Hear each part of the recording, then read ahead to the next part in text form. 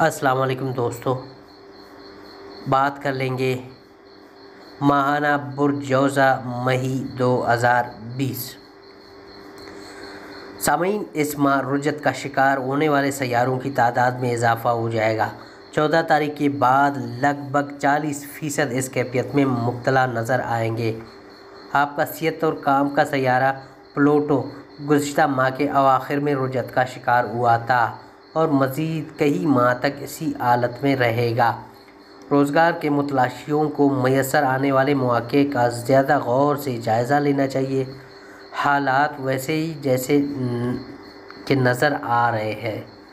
सेहत के हवाले से बग़ैर सोचे समझे कोई फ़ैसला अर्गिज़ ना करे। चौदह तारीख को आपका मोहब्बत का सैारा मुश्तरी रुजत का शिकार हो जाएगा और ये भी कई माह इसी कैफियत में रहेगा। मामलाती मोहब्बत से रवि के शिकार हो जाएँगे।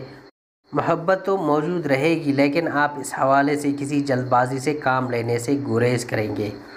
आपके जायजे का मशरकी यानी आपकी ज़ात से ताल्लुक़ रखने वाला हिस्सा गुज्त माह कुत में आ गया था, और इस माह इसकी कुत में और भी इजाफ़ा होगा। तेरह तारीख को मरीख भी मगरब से मशरक़ की तरफ़ आ जाएगा, यानी कम वबेश साठ फ़ीसद सियारे मशरक़ी हिस्से में होंगे। सोने पर सुहागा ये कि आपके जायचे का पहला यानी आपकी ज़ात से ताल्लुक़ रखने वाला घर 20 तारीख के बाद भरपूर क़वत में आ जाएगा।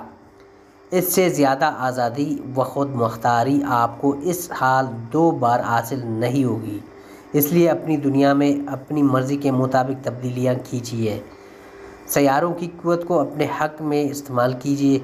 यूँ समझिए कि इस वक्त आपकी खुशी में सब की खुशी है। मोहब्बत और माशरत के मसाइल अपना वक्त लेकर हल ही होंगे।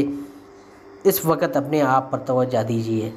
सत्रह तारीख के बाद अतार अपने अमूमी रास्ते से हट कर सफ़र करेगा, यानी अपनी हदूद से बाहर निकला हुआ नज़र आएगा। इसके असरात के तहत आप भी अपने अमूमी दायरे से बाहर निकलेंगे।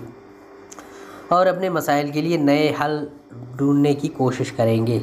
आपका पहला घर कुत में है, इसलिए अपने जिसम और शख्सी तासर को नया रूप देने के लिए ये बेहतर वक्त होगा। जिसम को लजाइज की तलब होती है और वक्ता फ़वक्ता इसकी तलब पूरी करते रहने में कोई अर्ज़ नहीं, मगर हद से तजावज़ करने से गुरेज करना चाहिए। आपका दौलत का घर उनतीस तारीख के बाद कुत में आ जाएगा और अगले माह इसकी क़वत में और भी इजाफ़ा होगा।